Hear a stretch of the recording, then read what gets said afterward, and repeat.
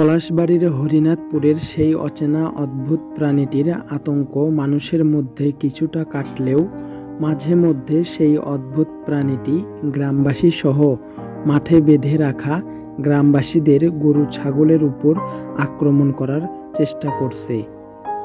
বেলা দশ ঘটিকার ঘটনা হরিনাথপুরের সেই অচেনা প্রাণীটির আক্রমণের মুখে পড়েছিলেন একটি ছাগল। রবিবার বেলা দশটার দিকে এ ঘটনা ঘটে। স্থানীয়রা জানান, হরিনাথপুরের সেই অদ্ভুত প্রাণীটি সলতারি বিলের সামনে দেখা মেলে। প্রাণীটি একটি ছাগলকে আক্রমণ করতে গেলে আশেপাশের লোকজন চিৎকার করে। এই চিৎকার শুনে গ্রামবাসী হাতে লাঠিসোঁটা নিয়ে প্রাণীটিকে মারার অনেক চেষ্টা করে। তবে অনেক কষ্টের পরেও গ্রামবাসী কোনোভাবেই প্রাণীটিকে মারতে সক্ষম হয়নি।